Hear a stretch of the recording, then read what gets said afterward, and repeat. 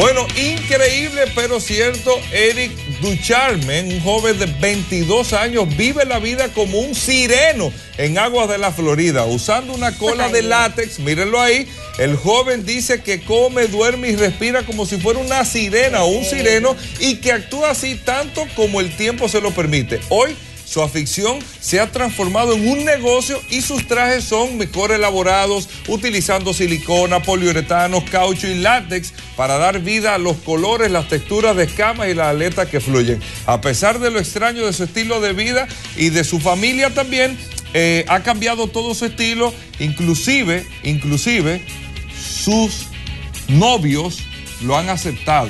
Ya, ya entendemos, ok. Eh, y lo dejamos ahí, si me entendés.